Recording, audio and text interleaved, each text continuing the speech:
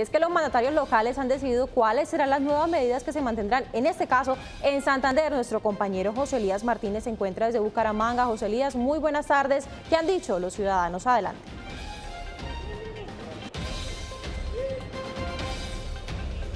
Hola, pues yo los saludo desde el centro de Bucaramanga. Hemos estado sondeando lo que piensan los comerciantes, lo que piensa la ciudadanía. Los comerciantes se están preparando con nuevas medidas, con el aumento de su stock y están pues a la expectativa de lo que será a partir de mañana la nueva reapertura de otros sectores. Vamos a preguntarle por acá también a otras personas, ¿qué opina de, que, de esta nueva normalidad a partir de mañana? Pues yo opino de que, primero que todo, bendiciones para todos. Que Dios los bendiga en este día tan grande. Y primero que todo, gracias al alcalde y al gobernador, porque nos está dejando trabajar. Porque él sabe que todos nosotros esto, vivimos del sustento, del vivir, del subsistir de todos los días. Y tenemos hijos para darles de comer. Entonces le pido de todo corazón al gobernador que nos ayude también a los vendedores ambulantes. Gracias.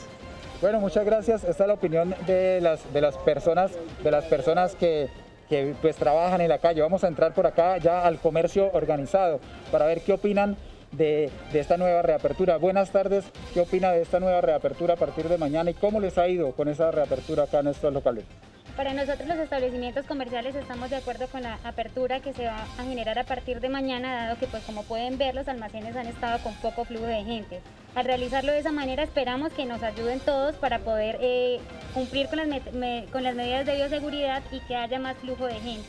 La pregunta para nosotros como eh, almacenes comerciales de... Mmm, organizado es preguntar cómo va a ser la apertura y el cierre de estos almacenes, dado que en la actualidad y lo el decreto que tenemos ahorita de apertura es a las 10 de la mañana y queremos que quedemos iguales a los horarios que tienen los establecimientos bancarios, que es de 8 de la mañana en adelante. Entonces la pregunta para nosotros es a qué horas va a ser la apertura de locales comerciales y a qué horas va a ser el cierre.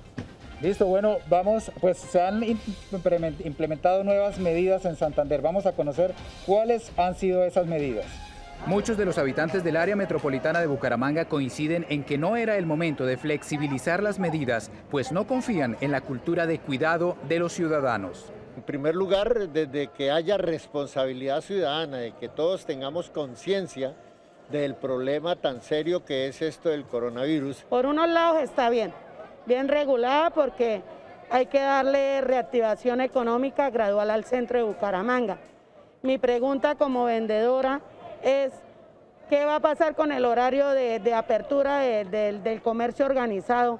La verdad no me parece todavía, no, no pienso que sea que sea como el momento. Me parece pésimo, pésimo, es la peor decisión que ha podido tomar el gobernador. A partir del primero de septiembre habrá más libertad de circulación para todas las personas. Esta es una buena noticia para el comercio, pero los ciudadanos no están muy convencidos.